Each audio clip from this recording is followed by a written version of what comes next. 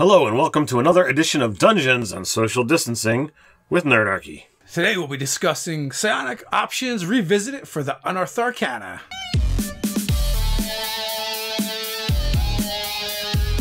Welcome to Nerdarchy for nerds by nerds. I'm Nerdarchist Dave, and as usual, I'm hanging out with this nerd. Nerdarchist Ted. You won't need to be a psychic to find your next D&D video if you mind blast that subscribe button. Reach out with your mind and attune to that notification bell, and you'll never miss another Nerdarchy video. Welcome to another edition of our Dungeons and Social Distancing. You notice things are a little bit different. Me and Ted aren't in the same place as we normally are.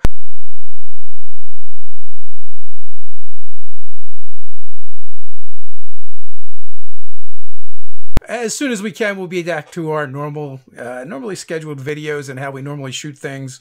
Till then, we hope everyone will stay safe. We are going to jump into our regular content after we thank our sponsor for this video, D&D Beyond. Without D&D Beyond, things would be so much more difficult. They make developing characters, making adventures, and just finding rules for the game so much easier. You've got so much great things about D&D Beyond. You've got all the free articles, you've got the SRD, you've got the videos, and there's a library of homebrew material out there that you can explore and have fun with.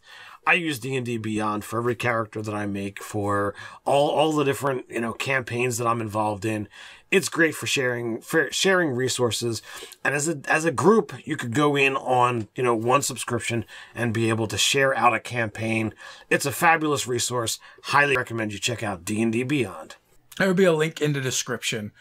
Okay, so we've got the new Unearthed Arcana. It's made some changes to some things that you may have liked, maybe you didn't like, but apparently Psionics is moving forward and it is not to its final form yet, but I think we're getting closer. I really like what's presented here. Um, there's definitely some good and bad within within this. Bad at some of the insinuations that I'm that uh that we're seeing, as well as you know some great with some of the uh, insinuations that are that are uh, layered in there. So there's definitely some surprises, uh, but it gets in and you get uh, the Psi the Soul Knife, the Psychic Soul, which was previously the Aberrant Mind for the Sorcerer. We get three new spells and five new feats that are you know based on psionic powers. So things are changing a bit. Uh, we also there's some notes about this.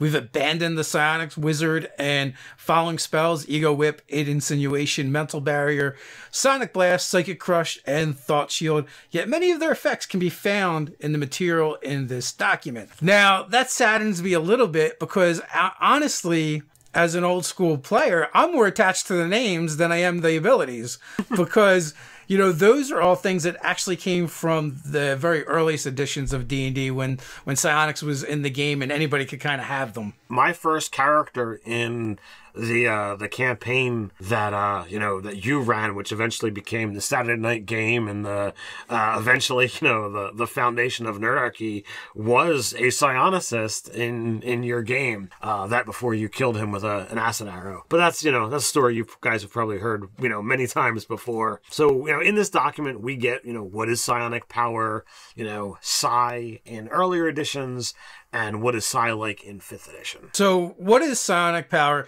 Basically, Psionic Power has been in 5e since they've launched it. You know, but it was on the monster side of things. And they kind of go into that and talk about how psionic power works and how it's kind of like an energy like magic, but not like magic in the game. So you guys can read all about that it also has a nice little section, like Ted said, about Psi in earlier editions of the game, talks about how it worked. And you can definitely see that as they're trying to figure out Psionics and 5e, they keep looking at the previous editions, trying to figure out what worked and what didn't. It was all over the place. Psionics could be very broken uh, or super complex in early editions, and they're trying to make it fit to the fifth edition model, which that brings us to, you know, Psi in fifth edition, um, specifically we have this whole section about their first kind of like foray into psionics you know, they, they talk about psionics in the current edition as early as 2014, with it being in the Monsters Manual, the Volo's Guide, Mordenkainen's Out of the Abyss, Guildmaster's Guide to Ravnica, Acquisitions Inc., and even, you know, in Eberron. Again, most of this is going to be in monsters and NPCs. There are a handful of things that, you know, might wind up being listed as, you know, technically a psionic ability under certain, you know, racial type stuff, but for the most part, psionics as a class, you know, has really been experimented since 2017 with uh, the UA for the Mystic. Uh, and in 2019 and 2020, they're ex- still exploring those options to try and get it right. You know, everybody's going to enjoy what they put forward because as fifth edition has evolved from all of the previous editions, the Psionics has to go along with that evolution.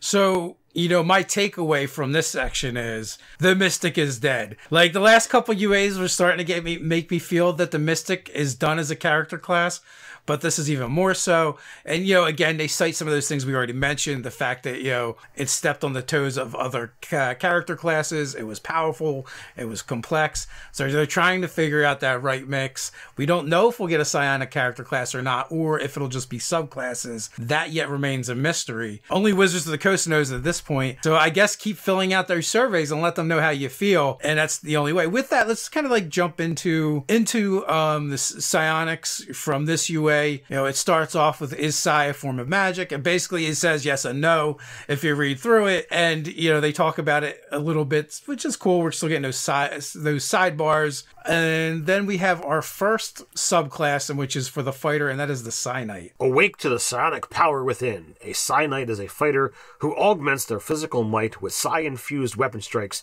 telekinetic lashes, and barriers of mental force.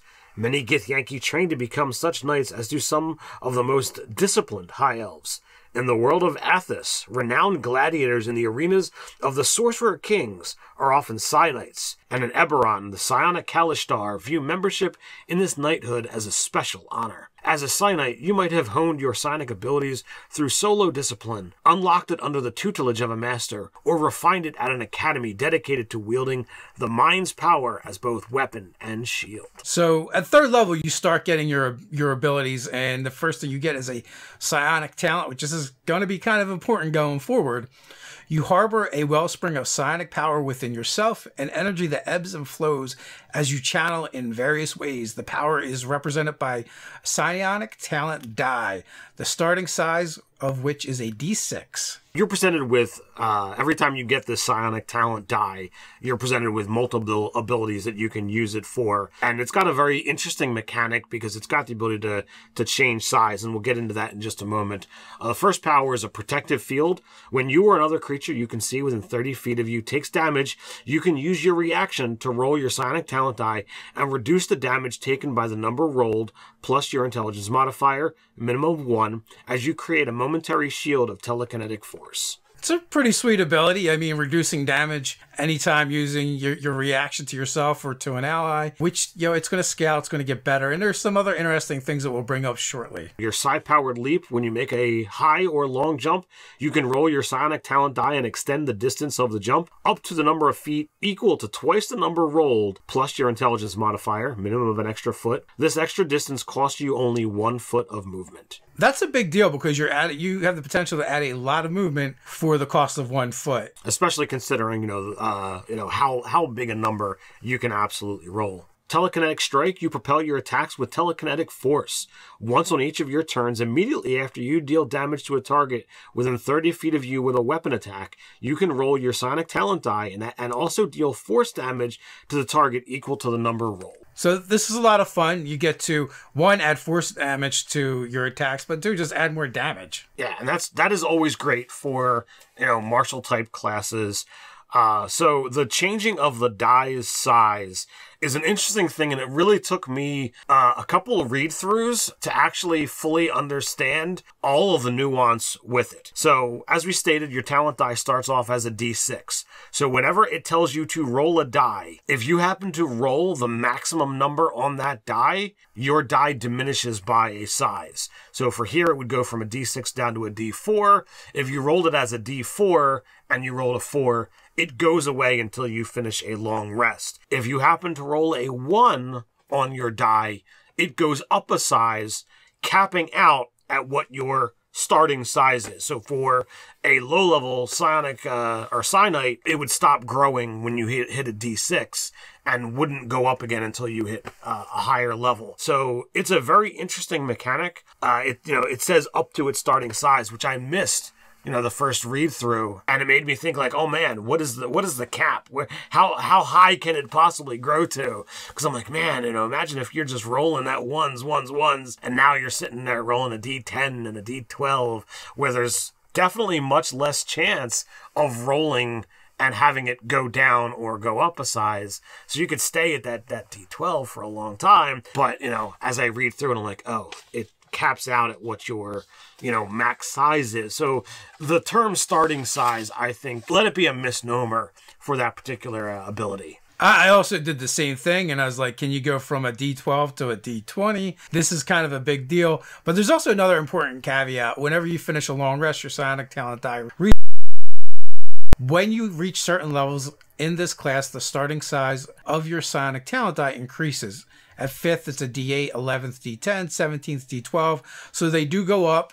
The chances of it replenishing or diminishing go down, uh, you know, as you have the more powerful die, but you also get to have higher numbers. And, and you know, like when you're at that D12, you know, rolling an extra D12 of force damage, or, oh my God, I rolled a 10, I just jumped an extra 20 feet, you know, up or across. That's pretty awesome. Definitely gives you the feel of that, you know, you know, that, that Jedi. physical. Were you going to say Jedi? I was I- thinking I- Jedi. I was thinking Jedi, but I was like, you know, I'm gonna go away from that. You know, just be like, you know, that that supreme martial uh, warrior. But Jedi definitely works. Like, you know, I envision, you know, Obi Wan Kenobi jumping up a platform from Episode One, uh, and that definitely fits, you know, what this would do. So a lot of lot of fun things, and that is just what you get at third level as a Silent. Well, so another important point. The important thing is psi replenishment. As a bonus action, you can calm your mind for a moment and restore your psionic talent die to its starting size. You then can't use psi replenishment again until you finish a long rest. So this means you're going to use that psi die even if you have terrible, terrible luck with dice. And I do four times. Four times a day, four times a long rest. Essentially, you can do, use this die. But if you're super lucky and all you do is roll fives, you keep using it. Like you never have to replenish it. You keep going with it. You can use it every round in every combat in every situation as long as you don't roll that max number. Now, uh, Wizards has, uh, you know, a set logic pattern. Uh, now, the psi replenishment exists in multiple character classes as well as in, you know, uh, at least one feat later on in this document. So if you happen to gain this feature multiple times, it is not going to stack with itself because it is the same name. The specific wording of you then can't use psi replenishment again until you finish a long rest is is you know potentially going to come up if you happen to uh you know get it from multiple sources so always keep that factor in mind So we have uh, our seventh level ability is the next time we get something telekinetic adept sonic thrust. When you deal damage to a target with a telekinetic strike of your psionic talent, you can force that target to make a strength saving throw against a DC equal to eight plus your proficiency bonus plus your intelligence modifier. Unless the save succeeds, you can knock the target prone or move it up to ten feet in any direction horizontally. So you get a little bit of control. so yeah definitely uh, a fun little ability you've got choice to either you know pu- push them to the side or to knock them prone it's just an added benefit. You're already you know this is getting layered upon your telekinetic strike. So you're already doing extra damage at this point in time. You're now up to you know potentially a d8 of force damage unless your die is you know decreased in size through use. Super awesome ability of just stacking on things that you already get. Well, here's a really important part to, part of that is prone or move up to 10 feet in any direction horizontally. That is side to side, that is back, that is you could pull them past you and throw them into the barbarian, you know, uh, you know, where you're dwarven battle rager in his spiked armor. So it, it does give you a lot of a lot of options. I agree. So next up, we have telekinetic movement. If your psionic ti- talent die is available, you can move an object or a creature with your mind. As an action, you could target one loose object that is large or smaller, or one willing creature other than yourself. If you can see the target and it is within 30 feet of you, you can move it up to 30 feet to an unoccupied space you can see. Alternatively, if it is a tiny object, you can move it to or from your hand. Either way, you can move the target horizontally, vertically, or both. When you take this action, your psionic talent die decreases by one size. So this is really cool in a couple ways. One, we're seeing a new mechanic where your die just automatically gets lowered because you use this ability. So you can, you're going to be limited on how often you can use it. But the other thing that is cool about this, this is a great thing for exploration. I can see players using it very creative in combat. So it gives a lot of utility to a fighter. But what what you're not doing is you are not pulling an X-wing fighter out of the swamp. No, no, unless it's a unless it's a rather small one. 10th level, you're going to get Psi Enhanced Metabolism. The psionic energy flowing through you has bolstered your mind and your body. You have resistance to poison and psychic damage, and you are immune to the poisoned condition. Which is a nice ability, you know. Uh, we get immunity to poison. The condition is awesome, and some resistances. Not going to cry about that at all. Now, as a fighter, getting t- uh, resistance to different types of damage is always a great thing. You know, you're you're always looking to you know how can I get more out of my hit points. Uh, so this is a happy thing. Po- poison is one of the most uh, prevalent damage type, and psychics, you know, usually when they get hit, you know, the psychic damage is hard. You know, it's it's a lot. So uh, getting resistance on that's pretty cool. Uh, 15th level, we get Bulwark of Force. You can shield yourself and others with telekinetic force as a bonus action. You can choose creatures, which can include you, that you can see within 30 feet of you up to a number of creatures equal to your intelligence modifier, minimum of one creature. Each of the chosen creatures is protected by half cover for one minute or until you're incapacitated. Once you use this feature, you can't do so again until you finish a long rest, unless you decrease your psionic talent die by one die size to use this feature again. I love that they're pulling that die in of like, okay, you know, this is a this is a great power, and you get to use it once, or you can choose to automatically reduce that die in size to be able to do it again. You know, coupled with, okay, well, I can use this a handful of times, use my psi replenishment, get it back. I mean, we're 15th level at this point in time, so our die is a d10. So, you know, d10, d8, d6, d4. All right, now I'll psi replenishment. All right, I've used this four times, and, you know, now I'm, you know, back to my starting die. Let's keep going. Yeah, it's definitely a great ability. It's uh, and it was also pulled over from the Psychic Warrior, I believe. Right. If not exactly, it was very similar. Yeah, sorry, that's th- three times because it would be a D tw- D10, so it would go to a D8, D6, D4. Uh, but I mean, once you get to 17th level and it's that D12, then you'd be able to do it four times, replenish, and uh, and be back. So def- definitely, you know, there's definitely a lot of nuance to how this die, you know, the talent die is, is used if you're if you're playing your cards right. Now, 18th level, we get Telekinetic Master. Your ability to move creatures and objects with your mind is matched by few. If your psychic talent die is available, you can cast the telekinesis spell requiring no components. Your spellcasting ability for this is intelligence. When you cast the spell, your psychic psionic talent die decreases by one die size. So you know here here you have you know the telekinesis. I don't happen to know how uh, how much you can move with that spell, but uh, maybe this is where we can move an X-wing. And Luke I think just, it's 500 pounds. all right. Well, that's not quite enough to move a move an X-wing. Uh, but you know it's still pretty still pretty cool ability. Uh, you know it automatically reduces your your die size, but you know you've got the ability to okay, well let me gamble and use it use it for a handful of abilities. See if I can roll that one to get it back up a size and use it again.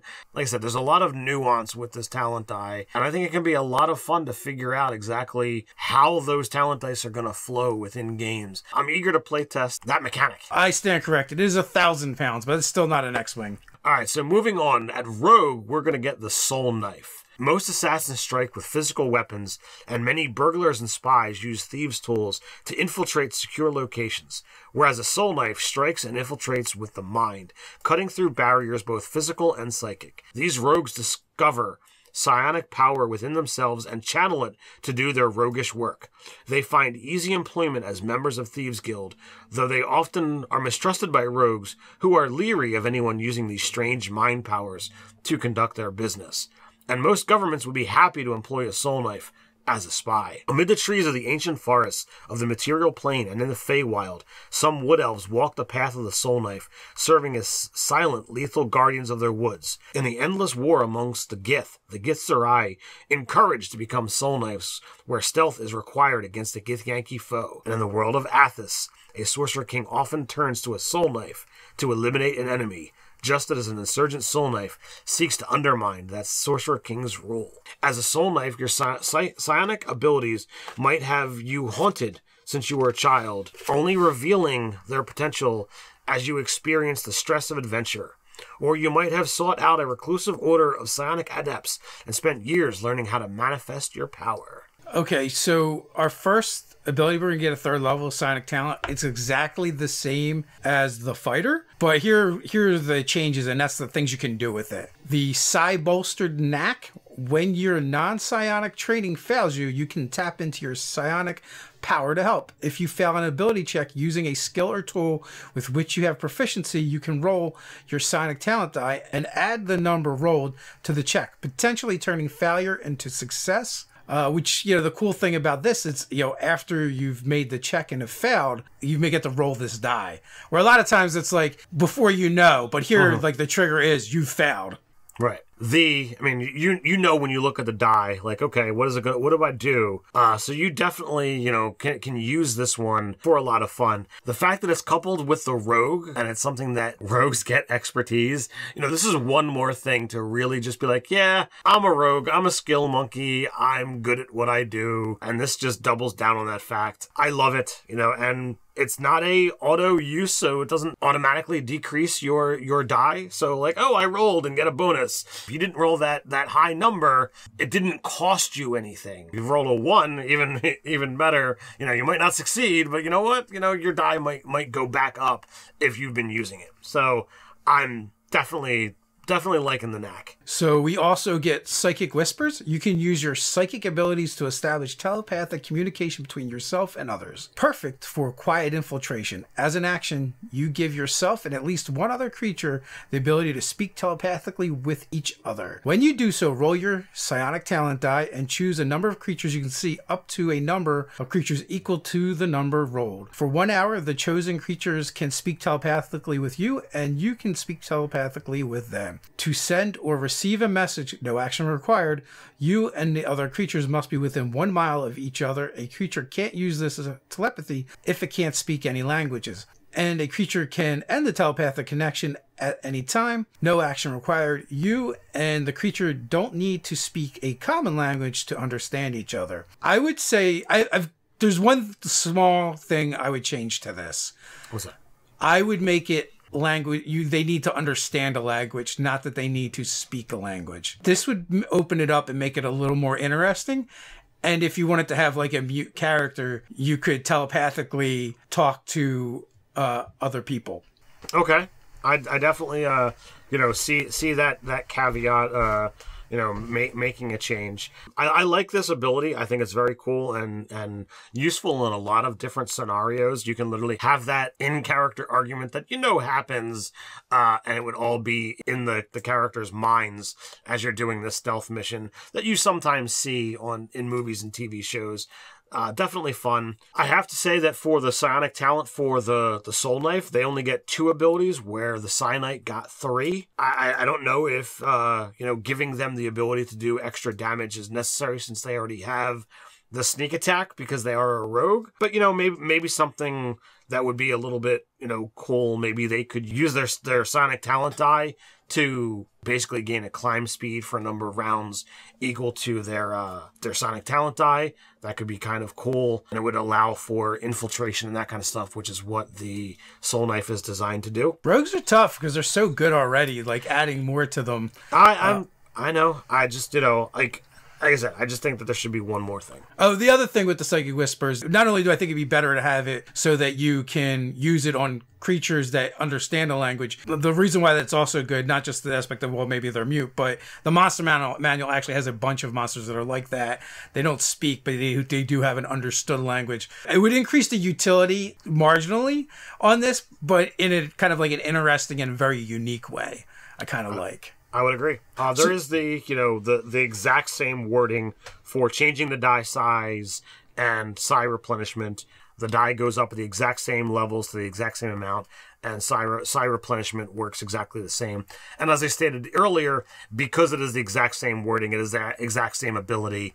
The they do not stack. So if you were a soul knife psychic warrior, you would wind up uh, you know losing out on that ability because you only get to use it once a day. So the Soul Knife does get another third level feature called Psychic Blades. You can manifest psionic power as a shimmering blades of psychic energy. When you are about to make a melee ranged weapon and attack against a creature, you can manifest a psychic blade from your free hand and make the attack with the blade. The magic blade is a simple melee weapon with the finesse and thrown properties. It has a normal range of 60 feet and no long range, and on a hit, it deals psychic damage equal to a die 6 plus the ability modifier you used for the attack roll. The blade vanishes immediately after it hits or misses its target and leaves no mark on its target if it deals damage. After you attack with the blade, you can make a melee or ranged weapon attack with a second psychic blade as a bonus action on the same turn, provided your other free hand is free to create it.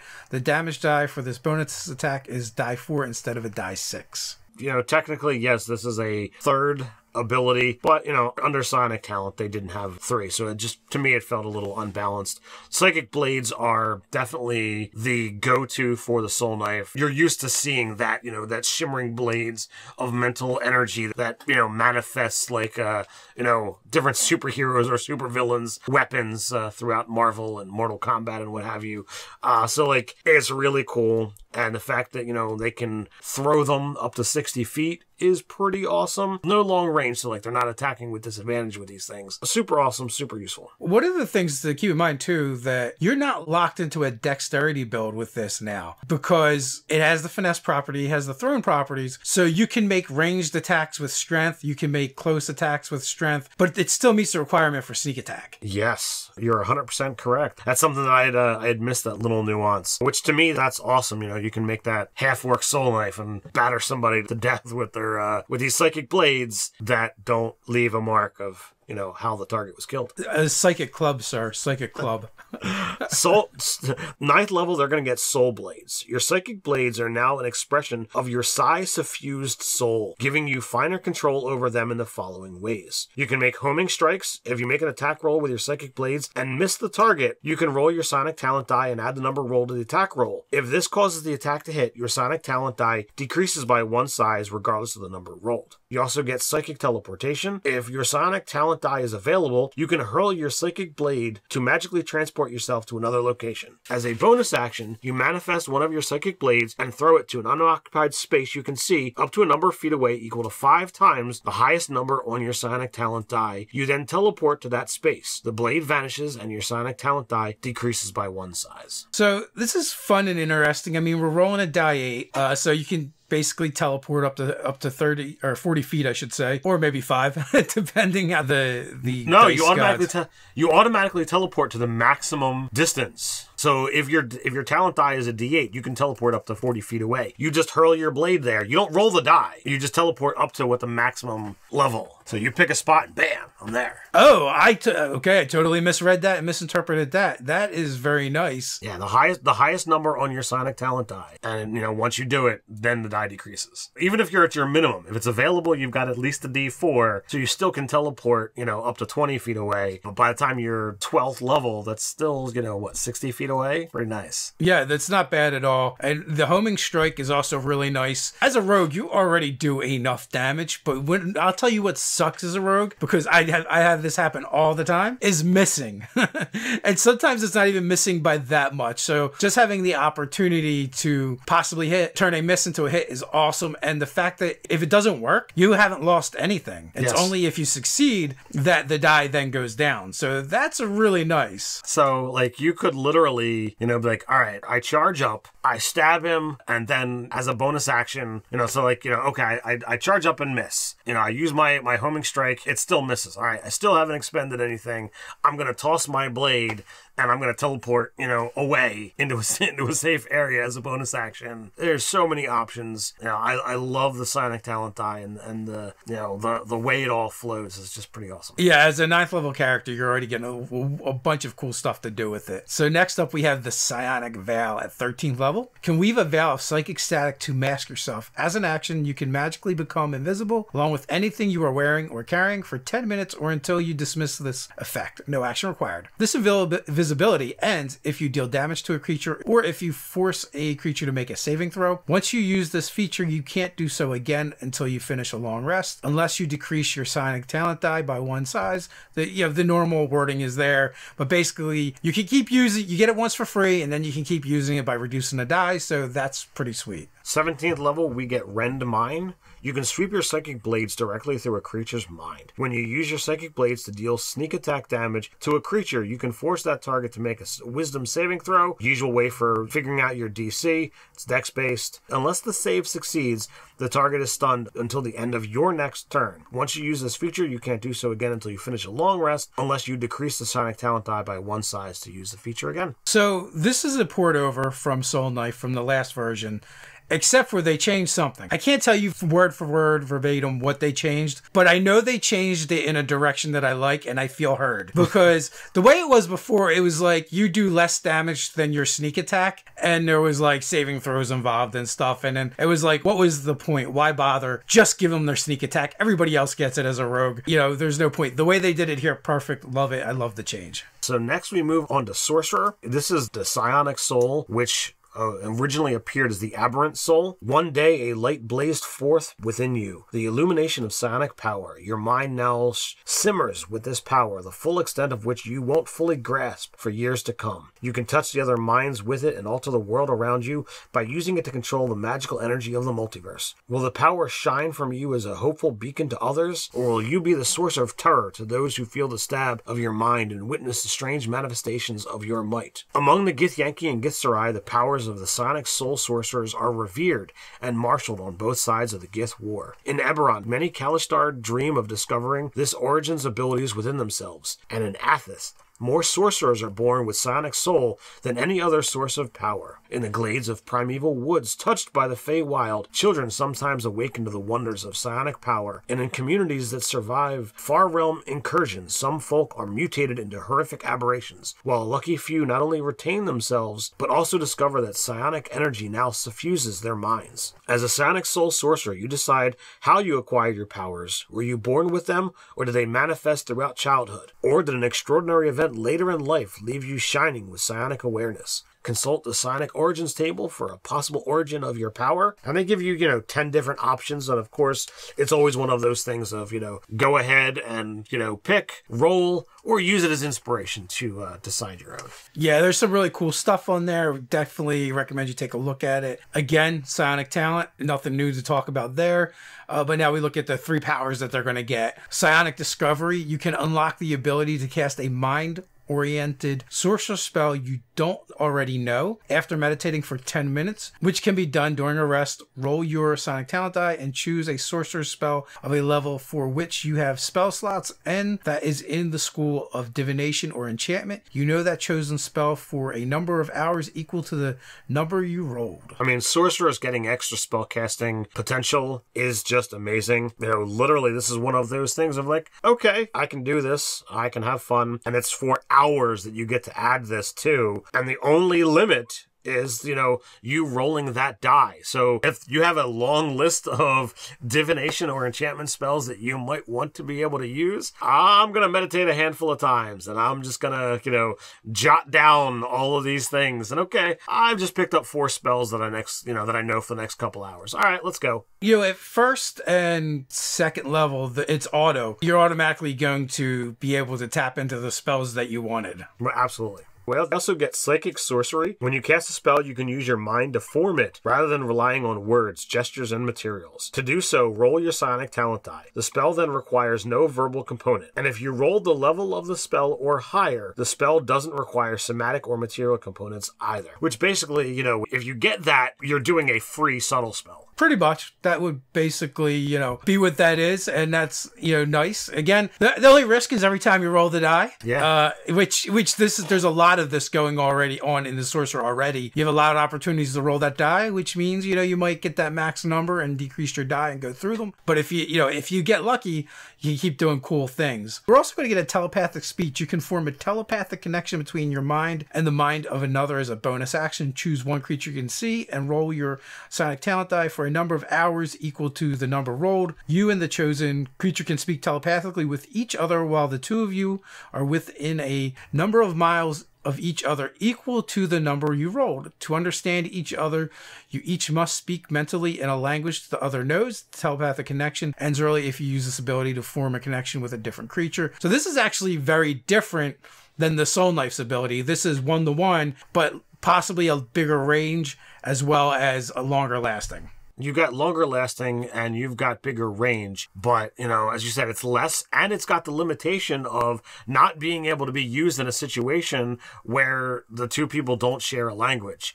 I would much rather them take the two abilities and say, all right, I'm going to make one ability and give it to both. I feel like they both have their uses, but having that limitation on the charisma based character of saying, hey, you have to automatically share a language, to me, that limits the role playing potential. On the charisma based person, that's the one who should be able to do it to, to someone who doesn't share a language. So I'm not happy after reading Soul Knifes and then reading the sorcerer not not really happy with that one. I will say by creating two separate abilities they're very similar they get to play test them both and see what the feedback is. And you know maybe we don't get either of them. We get something completely different. That is entirely true. It's great to be like okay well you know i can have a mental connection for the next five hours with somebody in town and i'm gonna go do this thing out with the adventuring party and as soon as x is done you know you can do this thing here in town. All right that could be be kind of cool and definitely can set up a handful of interesting role playing scenarios or maybe some time based challenges of like, oh, we need to do this here and then you need to do that here but I have no way of communicating. Well, this offers that. I don't know. It's also I, five miles, Ted. Five miles in five hours. With that, if that's what the role was, so right. that sets up some interesting things too. We'll see what they end up doing with it. And then, as with the other classes, you get the same uh, same block of changing the die size and the psi replenishment, and you know we don't need to go into that again. No, but we get to sixth level and we get Psychic Strike. Doesn't sound very sorcery, but let's see what they do with it. You have learned to channel additional psychic energy into your spells immediately after you deal damage to a creature with a sorcerer spell in which you expand a spell slot. You can roll your psionic talent die and also deal psychic damage to the creature equal to the number rolled. Can deal extra damage only once per turn. So basically, you know, you get that extra die every turn. It's not a ton more damage when you think about spells per se, but it's there. And as long as you don't roll max damage, damage, you can keep doing it every round. It is a nice feature. It's not going to work with cantrips because it doesn't expend a spell slot, so you do have to factor that aspect in. I think it is a great way of being able to having a resource uh, of you being able to expend it so that you hope that it can increase in size. Other than that, eh, it's a it's a minor ability. But you know, who doesn't want a little bit extra damage on their you know fireballs? True that. So, so Next up? Next up, we've got Mind Over Body, 14th level power. You can now use the psi that flows through you to give your body extraordinary abilities. As a bonus action, you can roll your psionic talent die and spend one or more sorcery points to magically transform yourself for a number of hours equal to the number rolled. Until the transformation ends, you gain one of the following benefits of your choice for each sorcery point you spent, choosing a different benefit for each point. So, one option is you can see invisible creatures within 60 feet of you, provided it isn't behind total cover. Another option is you gain a flying speed equal to your walking speed, and you can hover. You gain a swimming speed equal to twice your walking speed, and you can breathe underwater. Or lastly, your body, along with any equipment you are wearing or carrying, becomes pliable. You can move through any space as narrow as one inch without squeezing, and you can spend five feet of movement to escape from non magical restraints or being grappled. So, for you know, you roll your die, you can spend four points and get all of those abilities if you really wanted that extra adaptation. Pretty cool, pretty useful to just like, I need to be different right now, and poof, I can. For a point, it's not a bad spend. Uh, you risk rolling the die, but again, you know, it's it's not bad at all. And some of those things could be could be very clutch. You know, if you're falling and you need to you need to fly now, or you know, you need a swim speed for whatever reason, or you're grappled by something very nasty. Now you cannot be grappled. So I, yeah, I think it's a good ability and it's interesting, and I like the idea of them tapping into their mind to do these different things. So lastly, we're going to get Psychic Aura at 18th level. If your Psionic Talent die is available, you can unleash your Psionic power in a crackling aura of psychic energy. As a bonus action, you can magically radiate this transparent 30 foot radius aura for one minute or until you're incapacitated or you lose your Psionic Talent die. Whenever a creature starts its turn in the aura or moves up to it for the first time on a turn, you can roll your Psionic Talent die and deal psychic damage to the creature, equaling the number rolled plus your Charisma modifier. If the creature takes any damage, its speed is halved until the start of its next turn. So that's a really cool control effect. You get damage in there. Again, you're going to be rolling that die a lot, so there's always that chance that it's going to change, but it could also go up, not just down. So it's kind of thematic and cool. Basically, it's like the spirit guardians from hell. Absolutely. You know, the, I think the real clutch thing is, is, you know, when the creature is there, you can roll your psionic talent die. So to me, I look at this as you are physically manifesting and every time someone is getting close enough, you're making that choice as to whether or not you're going to unleash this, you know, psychic attack at them. Uh, it's not using your reaction, so it can it can be used on multiple opponents, but that that specific can means that you can exclude your allies from it. Yes, uh, it's definitely a very cool thing that you can now do. Now we get into new spells, and we have a handful of them. Bard gets one fourth level spell, Intellect Fortress. Sorcerer gets a cantrip, Mind Sliver. Second level, Mind Thrust. Fourth level, Intellectual Fortress. Warlocks get the cantrip, Mind Sliver. Wizard. So we got just a handful of spells. First of which is Intellectual Fortress. So this is a fourth level abjuration spell. Casting time is an action. Range is 30 feet. Uh, components are just verbal. Its concentration up to an hour. For the duration, you or one willing creature you can see within range has resistance to psychic damage as well as advantage on intelligence, wisdom, and charisma saving throws. And when you cast a spell using a spell slot of fifth or higher, you can target one additional creature for every spell slot above fourth. The creatures must be within 30 feet of each other when you target them. So it definitely can be useful uh, depending on the situations you're in. And obviously, anytime you might be taking psychic damage, it's great to have. You'll be the you'll be the totem barbarian's best friend with fighting mind one. flayers. yes, yes. Any anything that does psychic attacks and having advantages on those saving throws that might not be the best for the party also really good. The fact you can cast it on yourself or on other members of the party also great, and you can include more people with a high level of spell slot. So that gives it some flexibility. So Mind Sliver, the cantrip, it's an action, range 60 feet, it's verbal, and duration is around. You drive a disorienting spike of psychic energy into the mind of one creature you can see within range. The target must make an intelligence saving throw. Unless the saving throw is successful, the target takes 1 die 6 psychic damage, and the first time it makes a saving throw before the end of your next turn, it must roll a d4 and subtract the number rolled from the save. This is a one of those things that I see this as just like a I just keep doing this and you know you're going to have that negative uh, you know every time. So if nobody else is causing them to make a saving throw, they're always you know coming at uh, at your save at a minus D four, and as with every other cantrip, you know it scales. You know it's a D six. Two die six at fifth, three die at eleventh, and four die at seventh. Yeah, so it's great for setting up party members or setting up your next attack. Uh, so not bad at all. Mind Thrust is a second level spell. Casting time is one action. Range 90 feet. Components verbal. Duration one round. You thrust a lance of psychic disruption into the mind of one creature you can see within range. The target must make an intelligence saving throw. On a failed save, the target takes 3 die 6 psychic damage and it can't take a reaction until the end of your next turn. Moreover, on its turn, it must choose whether it gets a move, an action, or a bonus action. It gets only one of the three on a successful save. The target takes half damage as much damage and, and suffers none of the spell's eff- uh, other effects.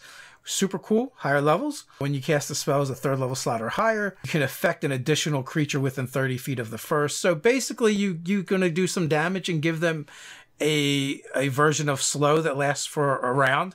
So yeah, that's a pretty cool thing, I think. I would absolutely agree. There's a lot of uses for that, limiting actions, you know, uh, eliminating the, the target's reaction, you know, if it fails its saving throw. It's incredibly useful, uh, you know, devastating if you uh, you know if you wind up using this on like a boss monster. Uh, next, we're to move into the feats category. Uh, we do get five new feats, four of which are actually half feats, so they're pretty potent in the things that they offer. So first up is metabolic control. Uh, you're to increase your strength, dex, or con by one to a maximum of 20. If your psionic talent die is available, you can take an action to channel your psychic power to nourish yourself for the next 24 hours as if you consume consumed sufficient food and water for the day. When you take this action, your psionic talent die decreases by one size. This is like super, uh, you know, Dark Sun Athas uh, kind of thing.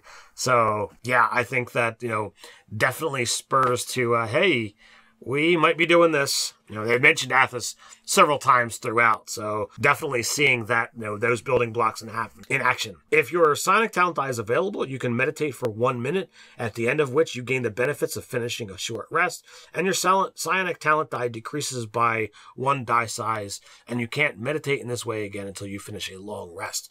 So you basically can do a quick short rest, making that, uh, you know, you know, that, that monk look silly for taking a full 10 minutes. The, you know, this is really nice, especially if you happen to be playing, I would say, a fighter. This works really well for them because so much of their stuff comes back on that short rest. Also worth uh, mentioning, there's a prereq. You have to have Psionic Talent feature or the Wild Talent feat in order to even take this. You need to have those options. So apologize for not saying that. No worries. And that's going to be the same for everything but the wild talent. Uh, so next up is telekinetic. Increase your intelligence, wisdom, or charisma by one. You learn the Mage Hand cantrip. You can cast it without a verbal or somatic component, and you can make the Spectral Hand invisible. If you already know this spell, its range increases by 30 feet when you cast it. It's a spell casting ability. Is the ability increased by this feat? So whichever one you chose. I, when I read that ability, I really think about um, from the Arcane Trickster rogue, mm-hmm, mm-hmm. and how that would be really nice thing to stack with it. Right. As a bonus action, you can try to telekinetically shove one creature you can see within 30 feet of you. When you do so, roll a Psionic Talent die, and the target must succeed on a Strength saving throw. DC 8 plus your proficiency bonus plus the ability modifier score that you increased by, uh, for this feat, or be moved toward you or any away from you a number of feet equal to five times the number you rolled. A creature can be uh, can willingly fail the save, so it gives you some utility uh, so it's kind of a cool ability to kind of get some control. So we also have telepathic. Again, you need the psionic talent or wild talent feat. You awaken the ability to mentally connect with others. You gain the following benefits. You're going to increase your intelligence, wisdom, or charisma score by 1 to a max of 20. You can speak telepathically to any creature you can see within 30 feet of you. Your telepathic utterances are in a language you know, and the creature understands you only if it knows that language. Your communication doesn't give the creature the ability to respond to you telepathically. You also have your psionic talent die is available. You can cast the detect thought spell spell requiring no components. When you cast a spell, your Psionic Talent die decreases by one size. Your spellcasting ability modifier. Your spellcasting ability for the spell is the ability increased by this feat. So it's another fun thing. I really enjoy all these. I love these uh, Psionic feats from third edition, so we're getting a little bit of that back. And you know, anyone can really do it if you have enough uh, feats to pour into that. We're all getting a little bit of a feat tree too, right? Yeah. Because you need two feet. You need one feat in order to get the second one if you're not if you're, if not, you're not Psionic already. Yep. So Tower of Iron Will. Your mind's defenses are formidable after you or another creature you can see within 30 feet of you fails a saving throw, can use your reaction to roll your psionic talent die and add that number to the saving throw, potentially causing you to succeed. So, you know, nice save your ass. I don't know if this one's worth a full feat, um, yeah. but it does offer an option. Yeah, I, I felt like, you know, this, this one was probably the the weakest of them. You know, it doesn't automatically cause you to, you know, your your die to decrease in size. So it's it's useful, but I agree with you. I think that, you know, this one probably should be a half feat as well. Moving into our last feat, we have Wild Talent. And this is the only one that doesn't require you to, you know, already have a talent die. So this is the one you need if you're not going to take a Psionic subclass. You awaken to your Psionic potential, which enhances your mind or body. Increase one ability score of your choice by one to a maximum of 20 to represent this enhancement. You also harbor a wellspring of psionic power within yourself, an energy that ebbs and flows as you channel it in various ways. The power is represented by your psionic talent die, Uh, and then you get the, the following options. Psi boosted ability.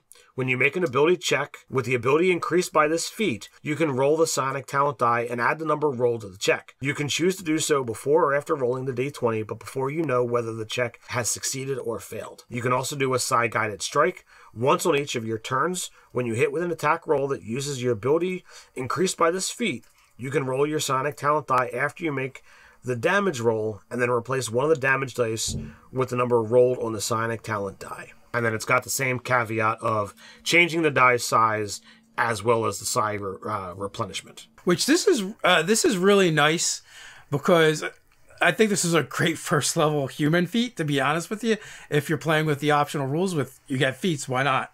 You're already using an optional rule, so you get to pick and choose.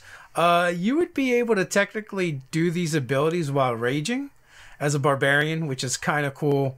Uh, and then also the other thing is, I believe this kind of works off your character level when you're talking about your your die, your psychic psionic talent die. So whenever you finish a long rest, your die uh, reverts to its starting size. When you reach certain levels, the starting size of your psionic talent die increases.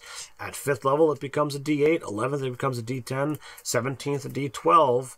Uh, but it says if you have a psionic talent die from another source, such as a class feature, you don't get more than one die, use only the one with the largest starting size. So, because this isn't coming from a class feature, uh, I would absolutely say would have to go off of your character level, not your uh, you know class level. I would say this is like almost a must take if you plan on multi-classing, because then you can always use the biggest die. All right. Uh, because the way everything nothing nothing stacks or adds together, you have one die. You'll just have more options.